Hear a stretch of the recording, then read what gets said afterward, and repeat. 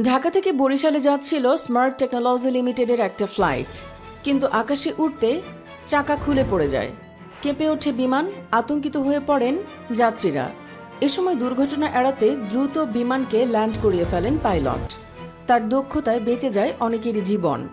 ভয়াবহ ঝুঁকি নিয়ে বিমানটি হজরত শাহজালাল আন্তর্জাতিক বিমানবন্দরে ল্যান্ড করানো হয়। তবে বড় কোনো দুর্ঘটনা ঘটেনি।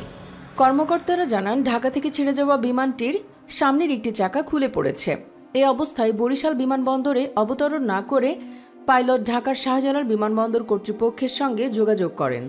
বিমানটি নিরাপদে অবতরণের জন্য প্রয়োজনীয় সব ব্যবস্থা নেওয়া হয়, প্রস্তুত রাখা হয় ফায়ার সার্ভিস কর্মীদের।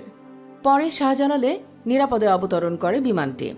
শাহজালাল বিমানবন্দরের নির্বাহী পরিচালক গ্রুপ ক্যাপ্টেন কামরুল ইসলাম বলেন, বরিশালে জরুরি অবতরণের জন্য প্রয়োজনীয় নিরাপত্তা ব্যবস্থা না থাকায় বিমানকে ঢাকায় অবতরণ করতে বলা হয়।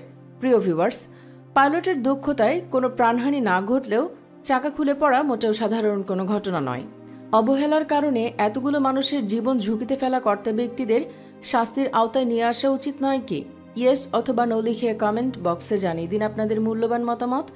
ভিডিওটি শেয়ার করুন আর আমাদের চ্যানেলে নতুন হলে সাবস্ক্রাইব করে সাথেই থাকুন।